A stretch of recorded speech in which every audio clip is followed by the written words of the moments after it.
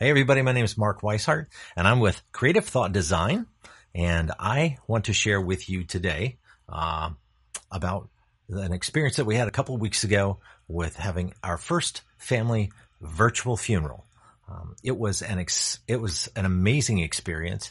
Uh, thank God I had some professionals that helped me with it. Um, I want to thank Mr. Lee Kitchen, uh, who is the magical dude. Uh, he also hosts a party every Friday night uh, called uh, Beats Party Magic on the Twitch platform. Uh, if you want to join him, that would be awesome. Um, they have a lot of fun there, and he's a great mixologist. anyway, um, I wanted to share with you my experiences in putting this together, what it took to put it together, um, and uh, just to encourage you that doing something like this um, was a great experience. We ended up having uh, a probably about a dozen or so, fifteen people, I think it was, um, this is Lee right here, smilingly. Uh, even though it was a funeral, uh, Lee uh, made it a, a, great experience, and he's just a lot of energy, and so it was really uh, an encouraging time.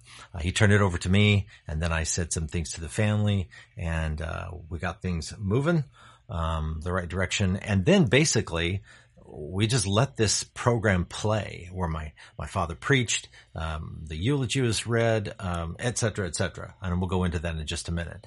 But what I did was I found out that, uh, oh, by the way, as you can see in this picture, probably 75% of the people are 75 and older. So please understand that.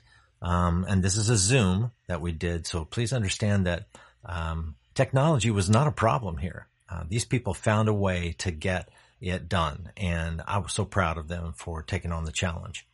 All right. So the elements that, um, I found, uh, that were necessary for a virtual funeral were number one, video, um, number two, audio. Um, we had to have lots of photos. Um, the actual, uh, casket itself or, uh, what we had were ashes, uh, and then maybe some motion graphics uh, really a terrific experience in putting all of this together. And so let me just share that with you right now. The first thing was video. Um, and so the, the most important thing right off the bat was that I got, uh, this recorded. So I ended up taking my dad, um, putting him on a green screen and he's the one who, uh, spoke the message. Um, I ended up also, uh, doing a grave site. And so I recorded him doing the grave site. Uh, my sister, uh, did the eulogy. Um, and then there was a special that was sung. Um, there were uh, three specials all in all, and then my aunt sent me this fo- this uh, iPhone that she did uh, in Arizona. She was amazing. Um, she did Beulah Land, and uh, it wasn't in her key, so we ended up raising it a key and then sending it to her and she still recorded it. You notice she doesn't have earbuds in. She did this all from just a small speaker sitting in front of her and it was fantastic. She did a really good job. Um, as far as, uh, additional video, um, I wanted to let you know that, let's see here. They sent me 15 reels and, uh, I, um, I have a, a, uh, machine that takes uh, digitizes uh, eight millimeter film down to uh, um, it just digitizes it uh, for to an electronic file so that you can use it uh, as an MP4. Um, and so I did all 15 of them, and I used just a just a little tiny bit of it. But it was super nice to be able to have video of my uncle Kenneth um, from years and years and years ago, and that made it very very special. It really did. Um, and everybody was really happy to see that. Um, uh, so green screen, uh, eight millimeter movie stuff. And then my aunt had that, that offsite. Then we did audio and audio was, uh, quite varied. Uh, we ended up, you'll actually hear the soundtrack. Um, I used, uh, my sister played the organ. Um, she, and thank God what she did was she gave me a, a MIDI file so even though she, she played an instrument that I didn't really like that well. And so I just went through, uh, it was a chord preset that we had and I just chose the instrument that I liked. Uh, it ended up being kind of a pipe organ, a little bit smoother and not quite as abrasive. But uh, that's what we started it with. And so she gave me the introduction to the the program, and then she also uh, played a song going out of the program. Um, that's that was necessary to have. And then we had uh, all of the we recorded everything for special music uh, separately, mm, and it was it's it's quite extensive if you if you have the microphones and everything. But if you want, you can just do it on iPhone. It doesn't matter. It, it's really an easy thing to do. Um, and then of course let's see. Uh, the last one was that I went into Envato Elements, which I have a subscription to. And if you don't have a subscription, I would highly recommend it for just any kind of music that you have.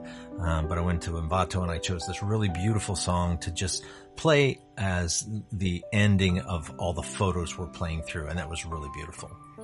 Um, of course, we went to, uh, we had to get uh, photos from everybody.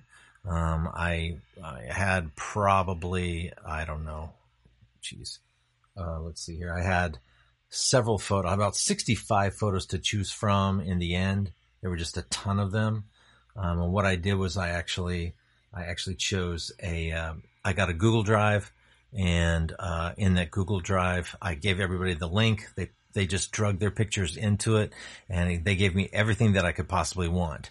Um, they didn't have to scan it or anything. They just took an iPhone picture of the photo and sent it to me. So it was a really simple process, not a big deal. And sometimes there was too much shine. I just have them take another picture without any shine on it and they'd send it back to me.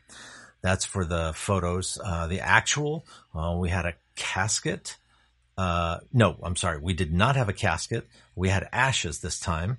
And I, I was hoping that my, my cousin could send me like, uh, like an, a whole, a whole picture of the, um, of the funeral home so I could, you know, put that out there for my dad to stand in front of. And this is the picture she sent me and it just was not going to work. So what I ended up doing was, um, I took this pic- picture in particular and I cut everything out so that I could just use just that. And then I went to, uh, the internet and I got a table. Um, then I called the funeral home and the funeral home, the guy at the funeral home was super helpful in Wetumka, Oklahoma and uh, he took an iPhone picture of where the casket sits, and he just sent that to me in an email. Um, he took a couple of pictures, but this is the one that I ended up using. And then um, I put it all together, and bam! Look at that. Um, I ended up uh, adding a little bit more in, in Photoshop. I added a little bit more cloth over here, and then I had it hanging down a little bit more. I Had to darken the wood a little bit, but this is what I came up with. And I felt like uh, for what I was dealing with, I had, I really did something special. so there you go.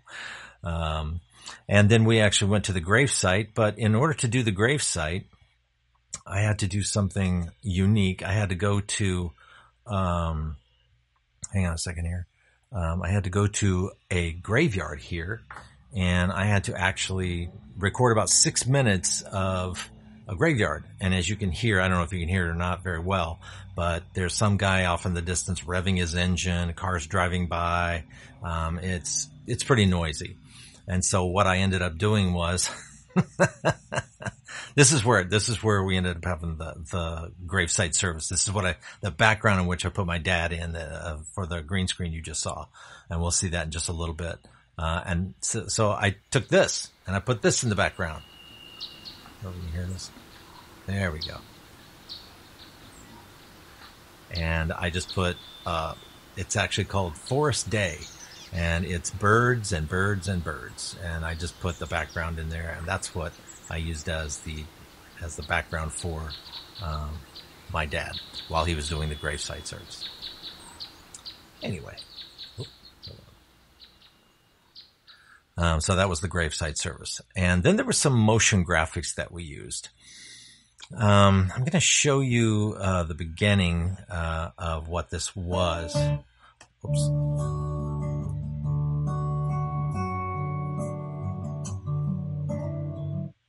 And you can see that this is the motion graphic as it comes towards. So the, the candles are actually flickering and burning and, and then you can see the dust, the dust as it's moving around onto the screen and then it moves into the screen. This is motion graphics. This is something very special.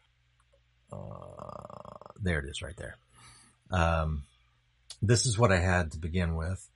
And when it moved, when it moved into it and to the next one, see how it just kind of sweeps into that is really beautiful.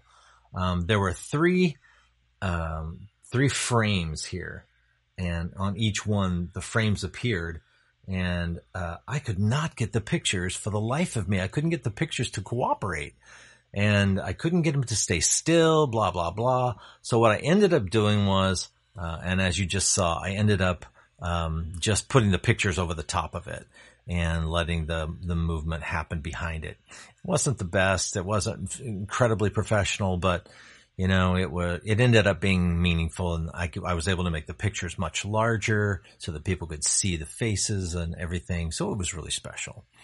All right. So that's pretty much it. Motion graphics, uh, the actual ashes, uh, the photos all over the U.S., audio and video. Now, what I want to do is I want to actually go through this with you. All right. So now uh, I got the right one. So this is the actual service itself. And I wanted you to kind of get a feel for uh, the whole the whole thing.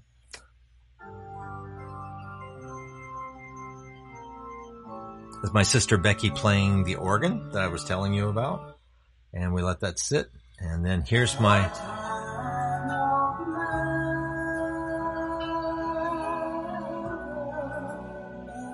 as you notice, I took that, uh, I put her in a, I cut off the edges on all sides, put her in a box, I did a little uh, Gaussian blur on the outside, and then I put some clouds behind her. And then uh, about halfway through, I think I also put some uh, put some crosses back there as well.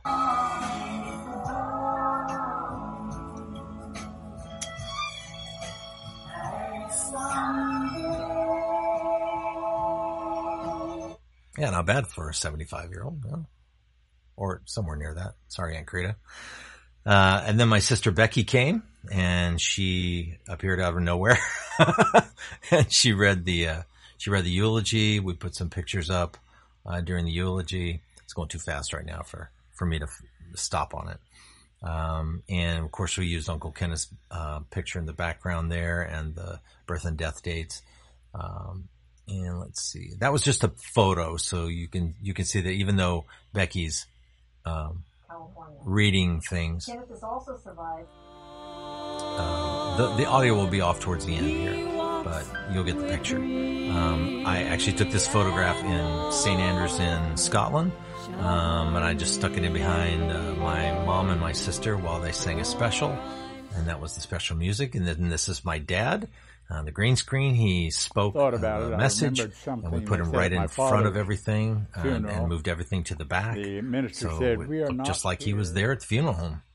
And uh, he spoke for a while, and then uh, I think right after that we did. Uh, we uh, I'm also uh, produ- I also produce a, a, program for my father uh, called the Chapel Hour, and. Um, they uh, in that chapel hour we record a lot of music for the Wisehart Family Singers, and they are uh, my this is my sisters here, uh, Rachel and Becky Leach, Rachel Harvey, and we uh, we recorded this at Christmas last year.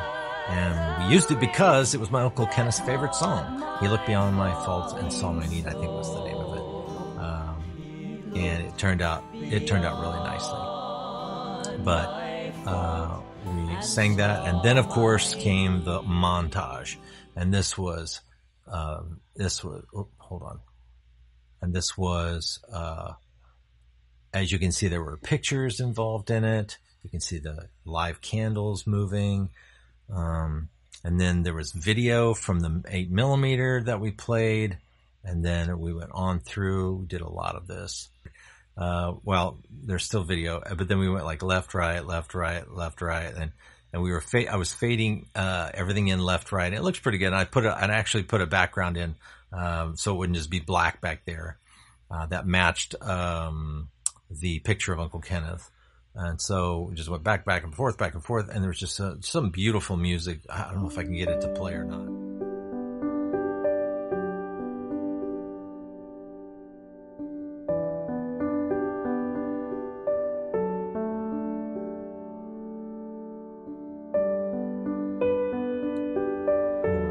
Then we went through the pictures and we kind of wound down on the pictures.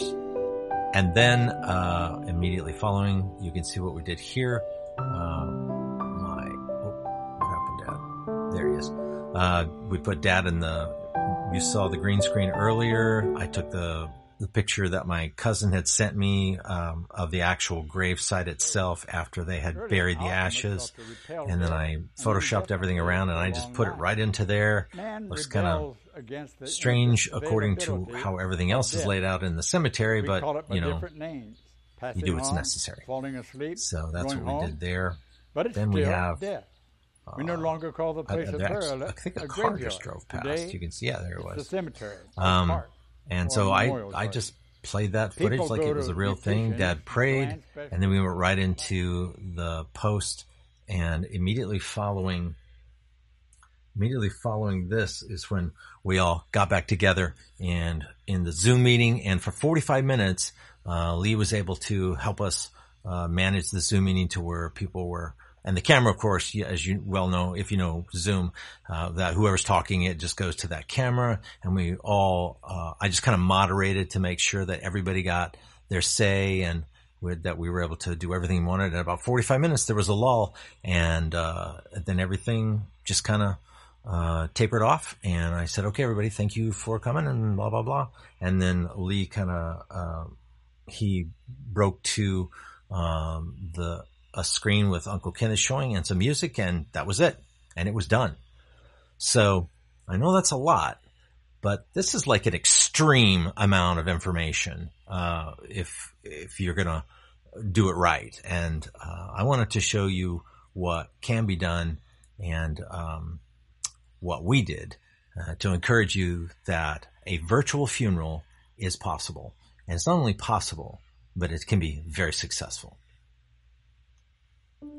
So I'm Mark Wisehart, and you can find my work at markwisehart.com. All of my video and photographs and all that kind of stuff. I even have some animation in there as well. Uh, you can find me on Instagram at G1 Creative. All my photographs are there. Uh, that is the letter G, the number one, C-R-E, the number eight, T-I-V-E. Um, you can also, of course, find me at Creative Thought Design on Instagram. Uh, we also have a YouTube channel that you're watching this on, um, Creative Thought Design as well. Um, and uh, on YouTube and Facebook, you can find my work at the Chapel Hour the Wisehart Family Singers.